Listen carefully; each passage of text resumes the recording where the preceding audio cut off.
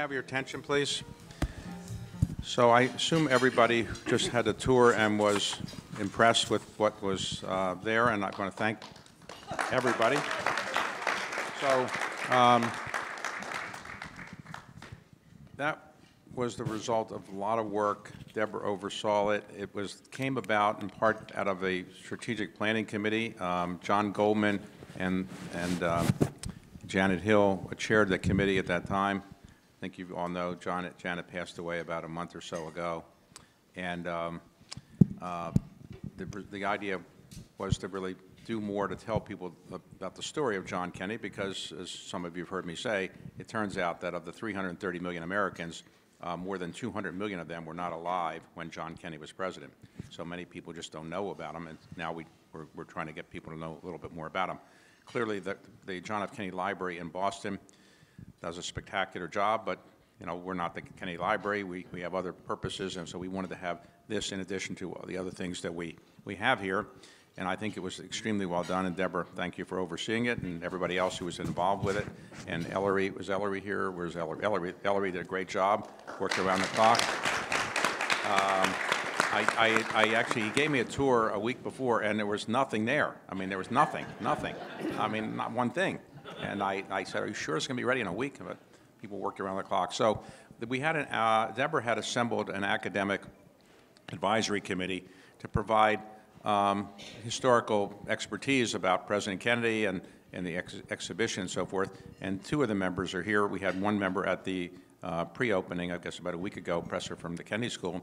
And now we have uh, uh, Scott is here, and Scott Sandage is the professor at the Carnegie Mellon uh, University in uh, Pittsburgh.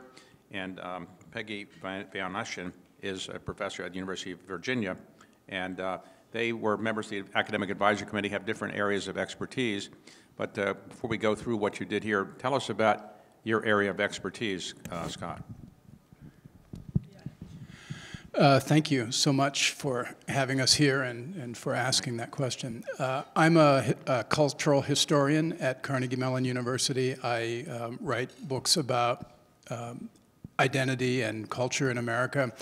And one of my areas of expertise is monuments and memorials and the way that people use them. So, for example, I wrote a study of the Lincoln Memorial and the way that its meaning in American life was redefined by the civil rights movement and others who have held events in that space to add meaning to something that was designed in another way. Okay, and Peggy, your area of expertise is? Um, I work broadly on the intersection of culture, American culture, and politics. And um, one of the books that I did that's most related to this exhibit is a book on jazz musicians who toured for the State Department during the Cold War. And some of the most exciting dynamic tours were during the Kennedy administration. And uh, it was just a joy to work on this exhibit and learn more of, uh, more of the different dimensions of Kennedy's cultural interest and the people who surrounded him. And as we talk, um, and I, I'm delighted to, you know, the tours are represented in the exhibit, but I'm also so excited about the way they intersect with many other facets of culture at the Kennedy White House. Okay, so um, the, the, exhibition has a lot to do with uh, theater and artists who surrounded uh, President Kennedy. Was he surrounded by artists more than other presidents, would you say? Well, um, absolutely. I mean, I, I, see a really big change in the Kennedy administration because in, in Eisenhower and most administrations before that, um, their artists were not at the White House. They were not surrounded by White House. Most of the performances were of military bands and then and Kennedy comes in, and artists of all ilks were there. And um, I also love the fact that that popular culture exhibit that sort of shows um, sort of both you know the high and the low and culture of all sorts. But one of the things that most fascinated me was learning, and I, I see now Kennedy as somebody who surrounded himself with cultural mediators at the inaugural, the gala, the night, not the inaugural ball that night, but the night before.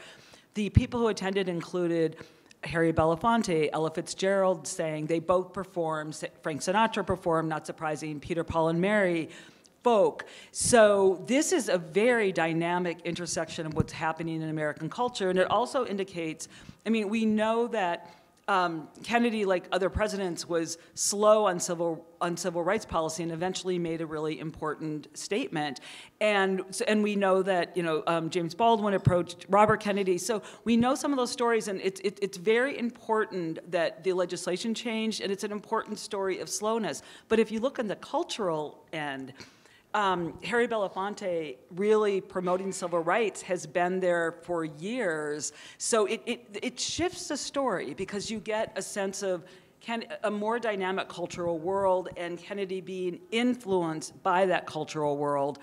And, the, I, and I also just want to add that there's fantastic footage, and I don't know how much is linked out there because I didn't have that much time to look, but the footage of the event that raised money to eventually make this center has a fantastic uh, array of musicians.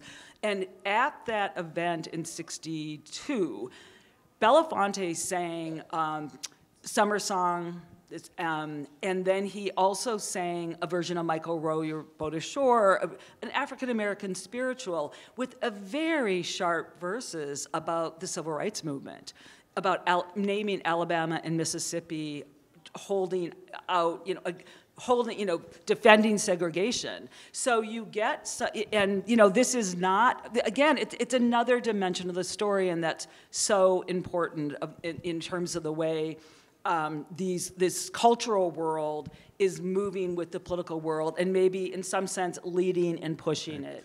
All right, Scott, uh, now you've had it, did you tour it uh, before today, or you've seen it? I toured it with you, with you folks just before Okay, lunch. so, well, as a result of all of your work, and now you saw the, the the results, what did you think? I thought it was amazing. Um, we were more content con- consultants. Uh, we talked about the messages and maybe some of the images. We daydreamed a little bit about possible artifacts. Uh, I really wanted the cello that Yo Yo Ma played as a seven year old boy in 1962 at the concert that Penny just mentioned. But um, the, the biggest question that we were presented with was how to make it clear to visitors that this building that we're standing in is the memorial to John F. Kennedy in, the, in Washington. Um, your nearest neighbor is, of course, the memorial to Abraham Lincoln, and the two buildings uh, by Henry Bacon and um, Edward Durell Stone are very similar uh, in being long, horizontal, Parthenon like temples to democracy. And the problem that Stephen Kieran uh, presented to us all was how do you make an exhibition that doesn't have artifacts?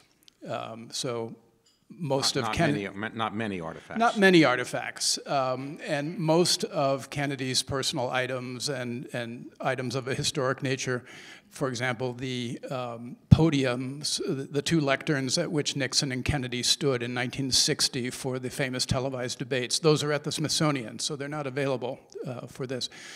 But what became clear is that the artifact that this exhibition contextualizes and helps visitors understand is the artifact that we're in right now. This building is the artifact. This building is the memorial to John F. Kennedy. And although it's a living memorial, well, so is the Lincoln Memorial, a living memorial, a place where its meanings uh, derive from the people who come there, and, and Marian Anderson singing in 1939, or uh, uh, the various speakers at the March on Washington in 1963. The Kennedy Center is that same kind of platform for free and creative expression. And I think if you walk through this exhibit, it's clear, or I hope it will be clear for the first time, why didn't they build a statue to him? Why didn't they build uh, something like the, the Jefferson Memorial or the Lincoln Memorial? Why did they build a, an arts center? And that's the, the artifact that's being interpreted, is the building itself. The artifacts that are there, um, some were lent by the Kennedy Library, but some were purchased on eBay. And I talked to the museum, uh, the, the consultant, and uh, he was spending a lot of COVID period of time surveying eBay and looking what was available, and he bought a lot of the stuff on eBay. So uh, you never know what you're going to find on eBay, I guess. Um, so uh, President Kennedy had a concert at the White House at which Pablo Casals famously played. Now, that was in 1962, I think it was. Why is that still so remembered by people, uh, Peggy? I mean, it was one concert, or concerts all the time in the White House. What was it about either that concert or the fact that President Kennedy invited Pablo Casals that people still remember it? Well, I, I think on the one hand, there weren't always concerts at the White House, so this was a really big deal, and you know, Jackie made, had a huge impact on you know on the on pushing bringing these artists in. So this is a really big shift. And what's so significant about it is that. Casals, up to this point, it's a fact that he came to the United States because um, prior to this, he was not going to the United States because of the long support of the Franco dictatorship in Spain. But his his um, he, he, we- Kennedy gave him great hope. So it's the very fact of the Kennedy presidency and Kennedy's internationalism and the way Kennedy was open to the world and reaching out to the world that, um, that shifted his position, that, that the United States was now worthy of being visited and how he would come to the White House. So that's, that, that is a big shift. And Kennedy held a uh, dinner at the White House that's also very famous, where he invited all the living U.S. Nobel Prize winners. Um, That's not been done since then, is that right? Anybody, you know, Peggy? Not to my knowledge. I, I, I don't think that It- it has, it hasn't that- I been. don't think that has been done. And, um, and again, that's very, very much a part of, of of Kennedy's sense of greatly respecting um, science, art, literature, and his love of literature and poetry, but sort of embracing all realms of the sciences. And, and this, again, is a moment where um, still with a sort of a pall of McCarthyism and suspicion of artists and scientists, ca- still hanging over the country to openly embrace um, embrace that thinking and and um, commit a country to excellence in sciences in all areas of inquiry and in the arts is a is a very very strong theme of, of the Kennedy White House. Yeah, there hasn't been such a dinner since then because it's more complicated to do it now. At that time, there were roughly 58 or 59 living uh, Nobel Prize winners who were American. Now there are roughly 200. So to do such a dinner, and I tried to get one done once under President Obama, it, you'd have to build a, do a tent on the outside because that's too complicated, and it was just not worth doing, I guess they felt. Anyway, so um, Scott, so uh, tell us a bit- little bit more, give us some knowledge of history. The Lincoln Memorial, uh, why did it take so long to build that one? He died in in 1865, and that memorial didn't open until 1922. So that seems like a long time to wait to build a memorial. Wh- What was the problem there? Well, there were some hard feelings about um, um, the war that ended in 1865, and um, truly, uh, one of the, the explanations is that people were more skeptical about historical figures than, than we might be now, and it, that sounds counterintuitive, but uh, George Washington's monument wasn't finished until um, almost half a century, more than half a century after his death. Um, so there wasn't a rush to build a memorial to each president or each war uh, in the immediate aftermath. There wasn't as much of a land rush uh, as there is now uh, for the last few spots that are available uh, in downtown Washington on the mall. Um, the McMillan Plan of 1901, which is the reason that we have a national mall with the axis of the Capitol on one end, the Lincoln Memorial on another end, in the middle, the Washington Monument, the White House on one end, and the Jefferson Memorial. That was part of a master plan for monumental architecture in Washington. Um, and so around 1910, 1909 was the, bice- uh, the centennial, rather, of Abraham Lincoln's birth, and so that was the occasion. Um, it also happened to coincide with the founding of the NAACP, which was uh, founded on Lincoln's birthday in 1909. And so those two events, the centennial and the founding of the NAACP, led to an increased interest as the 50th anniversary of the Civil War was coming up to do something for Lincoln. Well, so the Great Liberator, they have a memorial to the Great Liberator, but were African Americans allowed to sit there and watch it at the opening ceremony? So the memorial, the Lincoln Memorial was designed to say as little as possible about enslavement and emancipation. So if you walk in, it says, in this temple, as in the hearts of the American people for whom he saved the Union, the memory of Abraham Lincoln is enshrined forever. They specifically wrote that to emphasize the saving of the Union, and it doesn't say anything about emancipation or the great emancipator. Um, so the idea that um, the dedication should uh, include distinguished men of color like Robert Russa Moton, who was the, the successor to um, Booker T. Washington at the Tuskegee Institute. He was the keynote speaker. And a lot of people uh, and a lot of books do say that he was not permitted to sit with the other um, dignitaries at the 1922 dedication. That's actually not true. He was uh, seated among the dignitaries. He was seated next to the poet Edwin Markham. What is true is that black Washingtonians, um, lawyers, doctors, um, ordinary people who wanted to come and see the dedication, which was open to the public, those uninvited um, uh, people of color were put in a segregated seating section, which was across the road and away from the main, um, the main crowd. Okay. So, So um, the de Kooning, um, of, of, uh, Peggy, you're familiar with the de Kooning painting of John Kennedy? That was, we talked about it there? Yeah. So um, why did he decide to let her paint him? Was she that famous then? You know, um, somebody your else mic. is going to have to help me use- out. oh, Oh, Yeah, somebody else is going to have to help me out on this, and I bet um, either Scott or Deborah or somebody in the audience, or I bet you could help us out with this, because to, Um, He actually was asked by a number of people um, who wanted to paint him, and he actually um, agreed to do it. Uh, He didn't want to sit very long, and she, and she s- spent a lot of time on that painting, and as you saw, and somebody can tell, explain the technology, um, Ellery or somebody, who, the technology we have in, in the uh, exhibition where you get your painting by de Kooning, how does that work?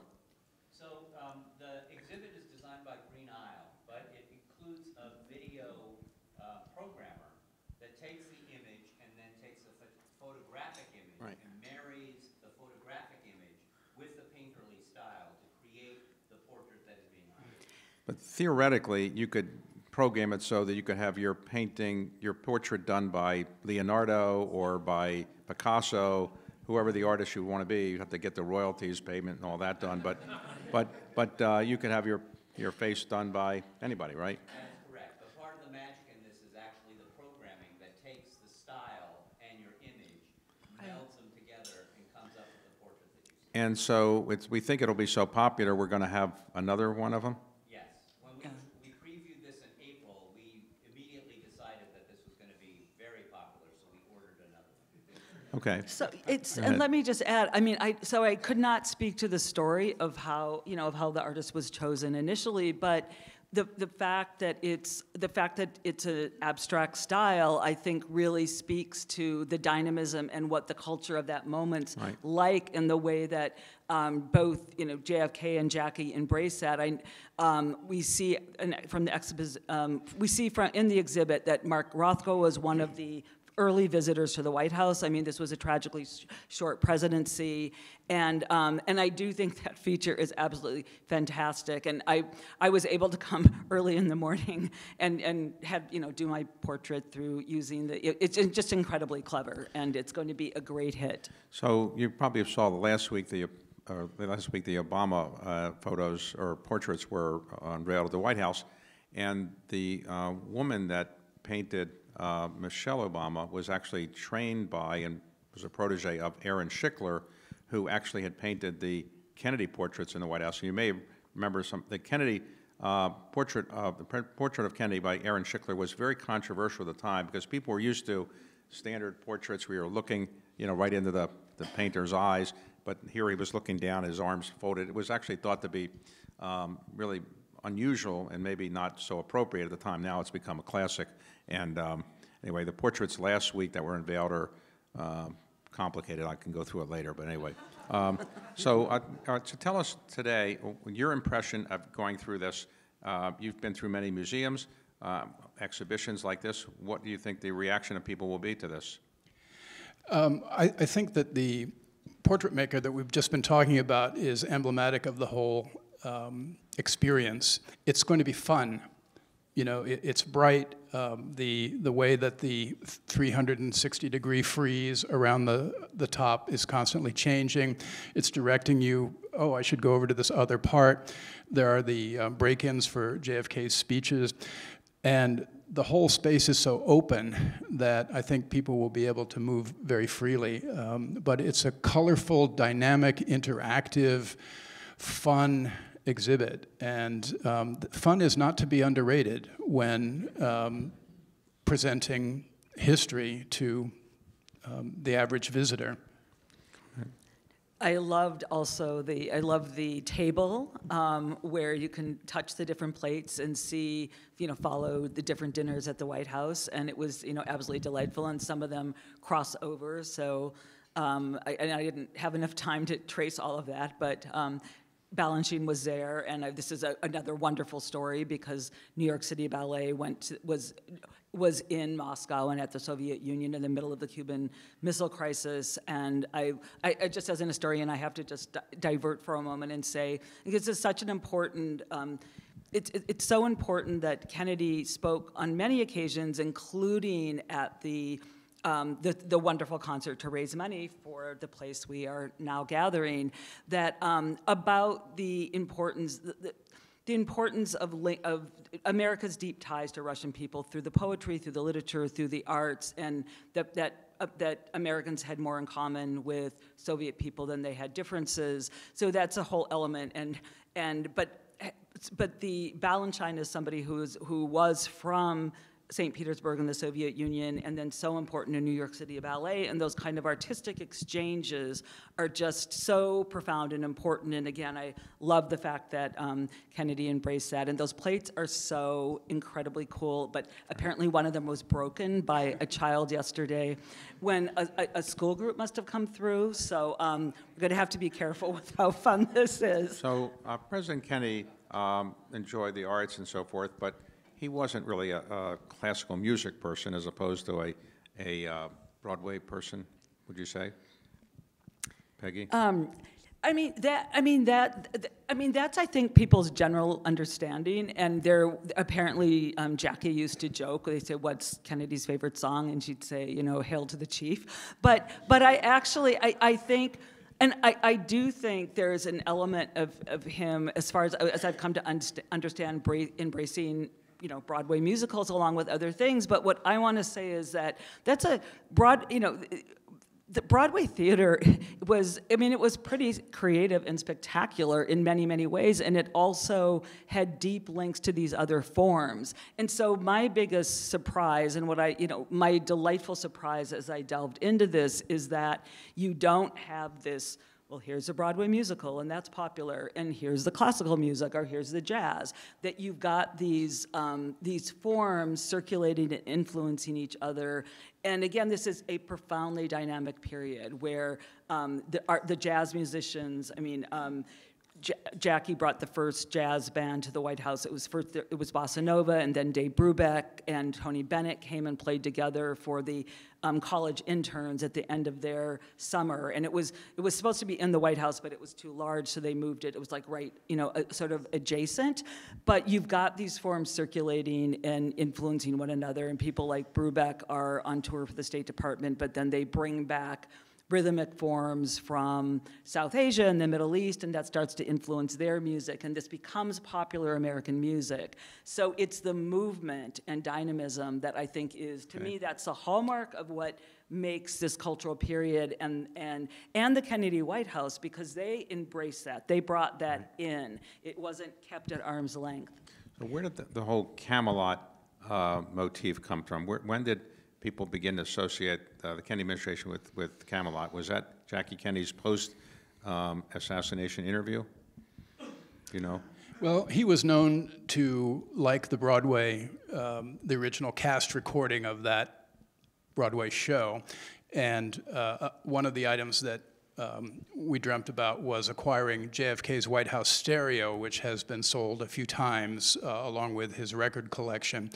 And Camelot is famously in that record collection. Um, but I think that um, for those of you who have seen the Mass um, or are going to see it, um, that is, is very much emblematic of this building in the sense that there are so many cultures and so many cultural forms represented in that piece. Um, it is dance, it is choral, it is classical music, it is modern. Um, it is there is bits of Broadway. Um, you know, you can hear a little bit of West Side Story in there, and you can hear a little bit of arias and barcarolles in there, and um, you can hear gospel in there. And so, the the way that the Kennedys, both of them, with their broad and diverse tastes brought so many cultures and so many cultural forms into the White House is so movingly and, and brilliantly replicated in that piece that it, it was just the perfect piece to, to start with 51 years ago and the perfect piece to end the season with this year. Okay, so um, Peggy, um, if you were going to uh, talk to your students about why they should visit the, this exhibition, what would you tell them? Why should they make a trip from Charlottesville to see this, if, if at all? I think, well, I would tell them it's um, bright and gorgeous and fun and dynamic and beautiful in the in the same ways that um, Scott has already lined up, um, like uh, outlined, and um, and I, I I think I would also tell them um, that it it. It, it, it, it, again, I keep coming back to the notion of dynamic and creative, but I think it really captures um, a dynamism about this moment, and and it's it it captures real connections between different forms of culture, between different parts of the world, and a profound connectiveness um, that I think, and I think that's, I don't think that's a sense that, um, that a lot of people have, um, necessarily remembering um, this era or the Kennedy administration in particular, but I also think it's, it's not a sense, um, a, a, sense of dynamism and connectiveness both between different parts of American culture and with the world is something that is so deeply lacking in our, I think, our current sensibility, where um, we're really far more observing and reacting in different ways to barriers going up between nations, barriers going up between um, different Americans, barriers going up between this, um, you know, very um, art forms that are cordoned off into this is only you know this is only this thing or the other thing. So i think that um, the experience of that um, movement across form and parts of the world and different peoples along with the movement across form is i think it's profoundly human it's profoundly creative and it's it's really we need a, a massive dose of that in our um, our contemporary public and human life so when I look at those films, um, I often think of two things. One, how young Kennedy was, obviously elected at 43, assassinated at 46. And secondly, how thin everybody was in those days. if you take a look at those people, including President Kennedy, they were really thin. Um, I don't know how they did it without all the fat-free food that, that we now have, but, but they managed to stay relatively thin, relatively thin. But anyway, that was my impression. So, um, questions? Anybody have any questions about the exhibition? Anybody? Deborah, can you just, go ahead. has a question. So, um, I, I'll say it this way. I, I was really thrilled to see the number of books that we gathered. But I don't think that we had that as an initial thought. Can you tell us, as in the process of talking about, over the course of hours and hours of conversations, why we landed on this concept of these books and why, and, you know, those are not the books he read, but the, those are the books he read, but they're not the actual book. That was That's Fred. the eBay part. Um, It- That was very much Fred, um, um, the the biographer, um, who talked about how important literature was to him and how important reading was to him um, during the portions of his childhood when Uh, he was somewhat frail um, and chronically ill and kept in bed by an overprotective mother, and um, that his way of getting out and running around and seeing the world and, and understanding it was through books. And so that was, I think, entirely Fred. Yeah.